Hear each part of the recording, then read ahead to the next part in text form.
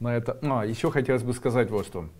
Сейчас, когда закончится данный семинар, данный вебинар, я его оставлю на канале YouTube. С нынешнего времени YouTube почему-то индексирует видео только в случае, если человек подписан на канал, также ставит лайк или пальчик вверх, а также пишет какой-либо комментарий. Напишите любой. Не обязательно спасибо, не обязательно что хотите. Можете один, два, три.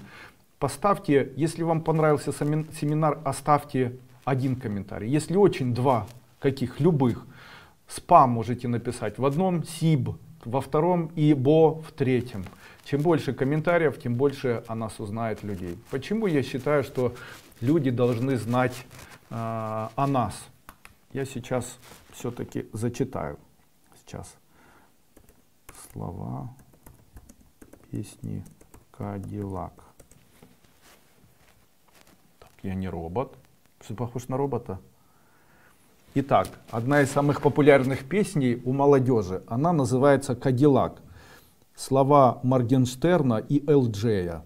Я не против этих ребят, мне все равно. Но давайте прочитаем. Эй, цепь на мне, сыпь лаве, сотка тысяч на баг ЛВ.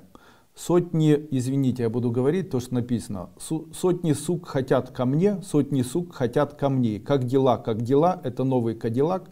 Делать деньги, делать деньги, делать деньги, дальше маты не буду. Вот так. Пау, пау, попал по. На мне сейчас две подушки. Дальше мат на английском языке. Я висю, как молодой Пушкин. Цепи висят на папе. Копаем кэш, это деньги на русском языке, лопатой. Богатый будто капер, как там твоя зарплата. Дальше, два мульта на мне это миллионы. На часы 3 на шее миллиона, 7 под жопой. То есть это Мерседес такой. Мне чуть больше 20. Посмотри, посмотри. Два мульта на мне часы, 3 на шее, 7 под жопой. Мне чуть больше 20. Это сыпь лаве, сотни, ой, очень некрасивая песня, конечно, наверное, это самое уже плохое.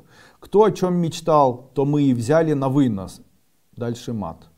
Эдлиб свежее, чем музыкальный, музыкальный бизнес. Этот фит убьет быстрее, чем коронавирус.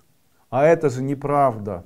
Ну вот, а, что за песня и что это такое? Вот смотрите, первое, ложь. Почему? Потому что, а, потому что кто о чем мечтал, то мы и взяли на вынос. Это неправда. Люди мечтали и не взяли, а вы мечтали и взяли. Но проверить это невозможно. Дальше, эта музыка не убивает точно так же, как коронавирус. Вообще, если убивает, то тогда это нехорошо. Смотрите, что есть в этой песне. В ней есть оскорбление, в ней есть злость, в ней есть ненависть. И в ней, смотрите, ты мечтал, мы забрали, в ней говорится о том, что э, не женщина, которая может создать семью, а сотни сук. Красиво, да. То есть, смотрите, милый Дуйко, который выходит перед людьми и не берет у них деньги. И говорит о том, что семья, тепло, милосердие, заботиться о стариках. Это хорошо, и он при этом плохой. Понимаете? То есть он плохой, и его нужно после этого обгаживать то есть снимать программы и так далее. Почему? Людям, почему у него больше, чем у меня, допустим, там подписчиков и так далее. Люди хотят боли, они сами этого не понимают. Они хотят зла, они хотят, чтобы такой вот человек, как LJ, допустим, или Моргенштерн забирали деньги, чтобы а, всех посылали, чтобы вместо женщин воспринимали всех как сук.